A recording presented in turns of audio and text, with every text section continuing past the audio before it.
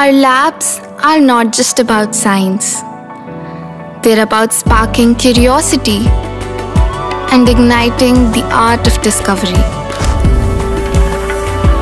Sinkhania Educational Institute, cultivating knowledge.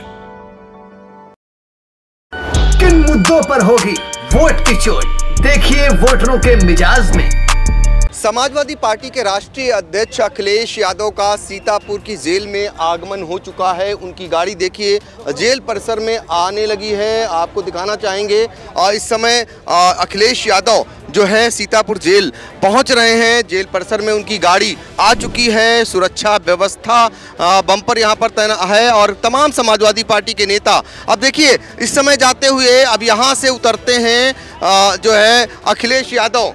और अखिलेश यादव इस समय उनकी गाड़ी अंदर जाते हुए आपको दिखाई देगी और बहुत सारे मीडिया कर्मी आपको नज़र आ रहे हैं और सुरक्षा व्यवस्था मुस्तैद है। यहीं पर गेट खुलेगा और शायद यहीं से उतर कर अंदर जाएँगे अखिलेश यादव।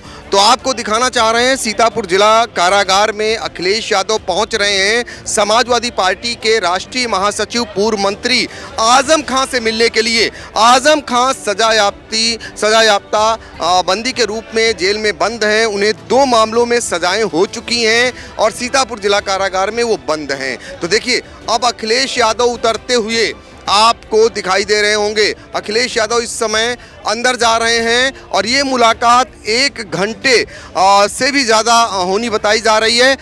इस बीच मुलाकात में क्या कुछ निकल कर आएगा? जब लौटेंगे अखिलेश यादव तो मीडिया से भी मुखातिब होंगे। फ़िलहाल ये चुनावी मुलाकात मानी जा रही है। माना ये जा रहा है कि अखिलेश यादव और आज़म खां की मुलाकात दरअसल रामपुर से समाजवादी पार्टी से प्रत्याशी कौन होगा, इसको लेकर है। और जैसे ही अखिलेश यादव लौटते हैं तो हम आपको फिर से एक बार अखिलेश यादव क्या बोलते हैं आज़म खान से मुलाकात के बाद, वो भी आपको सुनाने का प्रयास करेंगे।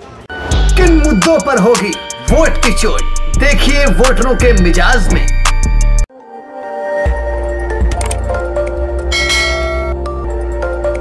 खबर आपकी नज़र हमारी। देखते रहिए आई इंडिया।